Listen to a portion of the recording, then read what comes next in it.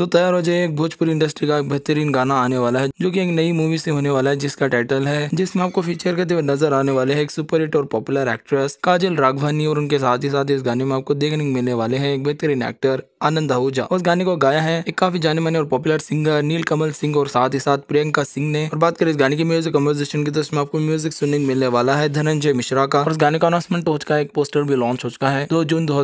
को और बात करें इस गाने की रिलीज डेट की तो है गाना आपको तीन जून दो को